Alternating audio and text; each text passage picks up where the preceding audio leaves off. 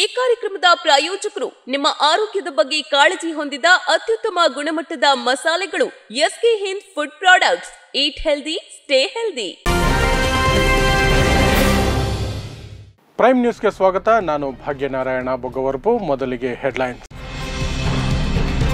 ಕೊನೆಗೂ ಪತ್ರಿಕಾಗೋಷ್ಠಿಯಲ್ಲಿ ಉತ್ತರ ನೀಡಿದ ಪ್ರಧಾನಿ ಮೋದಿ, ಭಾರತದಲ್ಲಿ ಅಲ್ಲದಿದ್ದರೂ ಅಮೆರಿಕದ ಪತ್ರಕರ್ತರ ಎದುರು ಎರಡು ಪ್ರಶ್ನೆಗಳಿಗೆ ಉತ್ತರಿಸಿದ ಮೋದಿ. ಸತತ ಪ್ರಯತ್ನದ ನಂತರ ಕೇಂದ್ರ ಆಹಾರ ಸಚಿವ ಪಿಯೂಷ್ ಗೋಯಲ್ ಅವರ ಭೇಟಿ ಸಾಧಿಸಿದ ಕೆಎಚ್ ಮುನಿಯಪ್ಪ ಸಿಕ್ಕಿದ್ದು ಮಾತ್ರ ಹಾರಿಕೆಯ ಉತ್ತರ. ಭಾರತದಲ್ಲಿ ಅಲ್ಪಸಂಖ್ಯಾತರ ಹಕ್ಕುಗಳನ್ನು ರಕ್ಷಿಸದಿದ್ದರೆ ದೇಶ ವಿಭಜನೆಯಾಗಲು ಪ್ರಾರಂಭಿಸಬಹುದು, ಅಮೆರಿಕ ಮಾಜಿ ಅಧ್ಯಕ್ಷ ಬರಾಕ್ ಒಬಾಮಾ ಎಚ್ಚರಿಕೆ. ನಾನೊಬ್ಬ, ನನಗೆ ನಾಲ್ಕು, ನಮಗೆ ನಲವತ್ತಾರು, ಮುಸ್ಲಿಮರು ಬುರ್ಕಾ ಬಗ್ಗೆ ಸಿಟಿ ರವಿ ಅವಹೇಳನ. ಶಾಸಕರಿಗೆ ತರಬೇತಿ ನೋಡಿದ ಮೇಲೆ ಅಭಿಪ್ರಾಯ ತಿಳಿಸಲಿ, ಯಾವುದೇ ವಿಷಯದ ಬಗ್ಗೆ ಪೂರ್ವಗ್ರಹ ಚರ್ಚೆ ಸರಿಯಲ್ಲ ಎಂದ ಯು ಟಿ ಖಾದರ್. ದೇಶದ ಪ್ರಧಾನಿಯಾಗಿ ಒಂಬತ್ತು ವರ್ಷ ಪೂರೈಸಿದ್ದರೂ ಇಲ್ಲಿಯವರೆಗೆ ಒಂದೇ ಒಂದು ಪತ್ರಿಕಾಗೋಷ್ಠಿ ನಡೆಸದ ಪತ್ರಕರ್ತರ ಪ್ರಶ್ನೆಗಳಿಗೆ ಉತ್ತರಿಸಿದ ಮೋದಿ, ಅಮೆರಿಕದಲ್ಲಿ ಅಮೆರಿಕ ಅಧ್ಯಕ್ಷ ಜೋ ಬೈಡನ್ ಜೊತೆ ನಡೆಸಿದ ಜಂಟಿ ಸುದ್ದಿಗೋಷ್ಠಿಯಲ್ಲಿ ಪತ್ರಕರ್ತರ ಎರಡು ಪ್ರಶ್ನೆಗಳಿಗೆ ಉತ್ತರಿಸಿದ್ದಾರೆ.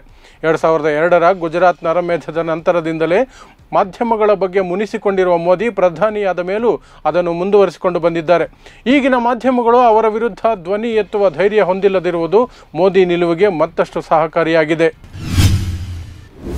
ಅನ್ನಭಾಗ್ಯ ಯೋಜನೆಗಾಗಿ ಅಕ್ಕಿ ಹೊಂದಿಸಲು ಪರದಾಡುತ್ತಿರುವ ರಾಜ್ಯದ ಆಹಾರ ಮತ್ತು ನಾಗರಿಕ ಪೂರೈಕೆ ಸಚಿವ ಕೆಎಚ್ ಮುನಿಯಪ್ಪ ಅವರು ಮೂರು ದಿನಗಳ ಪ್ರಯತ್ನದ ನಂತರ ಇಂದು ನವದೆಹಲಿಯಲ್ಲಿ ಕೇಂದ್ರ ಆಹಾರ ಸಚಿವ ಪಿಯೂಷ್ ಗೋಯಲ್ ಅವರನ್ನು ಭೇಟಿ ಮಾಡಿದ್ದಾರೆ. ಈ ವೇಳೆ ಹಣ ನೀಡುತ್ತೇವೆ, ಕರ್ನಾಟಕಕ್ಕೆ ಅಕ್ಕಿ ಪೂರೈಸಿ ಎಂದು ಮನವಿ ಮಾಡಿದರು. ಆದರೆ ಪಿಯೂಷ್ ಗೋಯಲ್ ಅವರು ಹಾರಿಕೆಯ ಉತ್ತರ ನೀಡಿದ್ದಾರೆ ಎಂದು ಮುನಿಯಪ್ಪ ಅವರು ಆರೋಪಿಸಿದ್ದಾರೆ.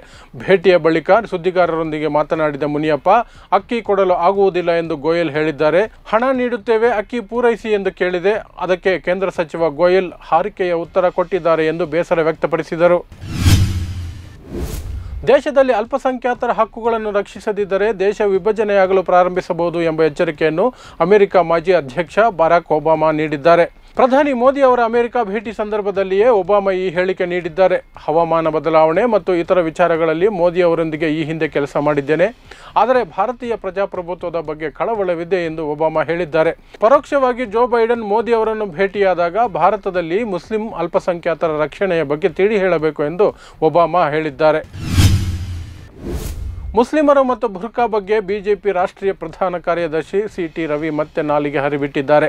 ಸಭೆಯೊಂದರಲ್ಲಿ ಸಮಾನ ನಾಗರಿಕ ಸಂಹಿತೆ ಜಾರಿ ಬಗ್ಗೆ ಮಾತನಾಡುತ್ತಾ, ಮುಸ್ಲಿಮರು ಸಮಾನ ನಾಗರಿಕ ಸಂಹಿತೆ ವಿರೋಧಿಸುತ್ತಾರೆ.